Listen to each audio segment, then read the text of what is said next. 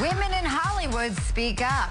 Welcome to Access Hollywood. What a parade of strong, beautiful, and stylish ladies at Elle's annual Women in Hollywood Awards, which celebrates successful women. Our Alex Hutchins was part of the Girl Power Night and asked everyone what is their favorite part of being a woman.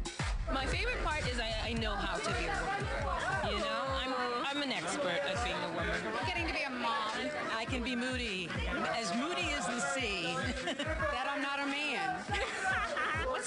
part about being a woman? Men.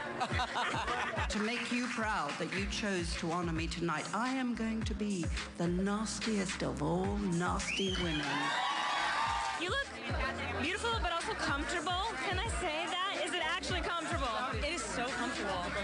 Yeah, I had another option tonight, but it's kind of a long evening, and I was like, this thing weighs 25 pounds. I think maybe I'll go with the t-shirty dress.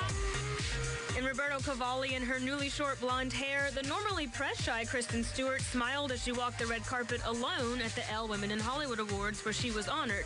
But girlfriend St. Vincent did attend. Her former Twilight co-star Dakota Fanning presented Kristen's award. Dakota is presenting to you. What, is, what does that mean to you? Most of all, I admire the woman I have watched you become. She's one of my best friends and one of my favorite artists. I think she's so talented. I, am uh, it's like bragging rights. You're my sister forever. This is the group.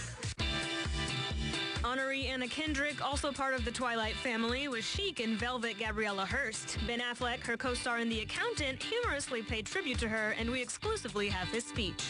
Anna, you, you, uh, you are extraordinary, and you have proven that you can do anything. And with years of school plays behind you, you're at least a triple threat. Helen Mirren went for anything but basic black and Victoria Beckham. All the honorees posed for a stunning group photo at the event, sponsored by L'Oreal Paris, Hearts on Fire, and Calvin Klein Collection.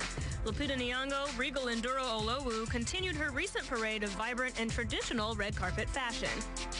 For me, uh, the head wraps that I've been wearing are the quintessential African accessory.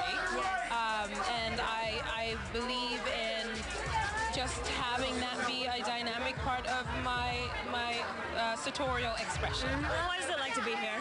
It's awesome. I was here in 2007. It was sort of like a kickoff to a really, you know, big 10 years for me.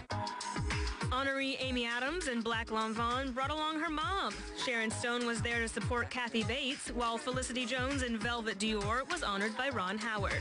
She's gearing up for the highly anticipated Star Wars standalone film, Rogue One. This is the longest wait ever for Rogue One. It, it does. Uh, it is, it is. I'm so looking forward to seeing what people think when it finally comes out. And actually to be able to, my family are constantly asking me, you know, you've got to tell us, you've got to tell us, and I said nothing.